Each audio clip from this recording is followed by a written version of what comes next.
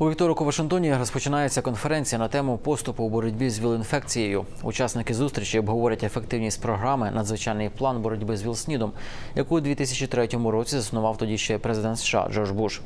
Передавши управління країною Бараку Обамі, Буш молодший продовжує займатися тією важливою справою.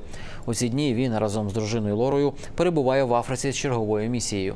Зарослав Байдюк розповість детальніше. Разом з іншими волонтерами, колишній президент США допомагає відремонтувати клініку, що спеціалізується на ранній діагностиці раку шийки матки у другому за величиною місті Замбії Кабве. Ти назавжди залишаєшся колишнім президентом. Але я хотів приїхати сюди як робітник. Я хочу, аби після цієї поїздки я та мої друзі могли сказати, що залишили по собі відремонтовану клініку. І сподіваюсь, що це надихне на подібне інших. На сьогодні Джордж Буш допоміг зібрати 85 мільйонів доларів на боротьбу з раком шийки матки в країнах Африки. Однак він прагне залишатися непоміченим пресою. Я сподіваюся, ви не побачите багато моєї роботи, оскільки я не хочу бути у новинах. Я вірю, що найкраще допомагати, не привертаючи до себе уваги. У Замбії Буш та його дружина Лора відвідали сиротинець, чимало мешканців якого народилися з вірусом імунодефіциту людини. Своїм життям ці діти певним чином завдячують президентові Бушу, який у 2003 році ініціював багатомільярдну програму допомоги у боротьбі з ВІЛ-СНІДом у країнах Африки.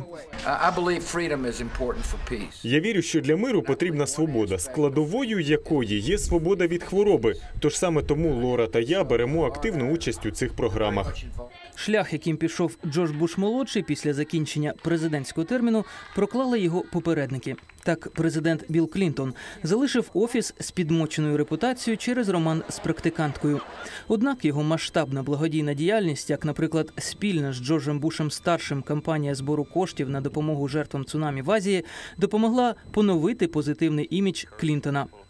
А у випадку Джиммі Картера його постпрезидентська діяльність на поширення демократії та боротьбу з інфекційними хворобами, взагалі, на погляд експертів, перевершила його президентські досягнення.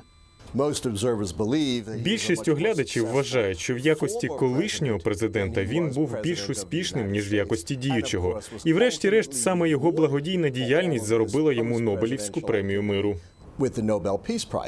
Якщо у США Джордж Буш молодший має неоднозначну репутацію, в Африці йому щиро вдячні за допомогу як у боротьбі з ВІЛ-СНІДом, так і раковими захворюваннями. Зорислав Байдюк, Голос Америки.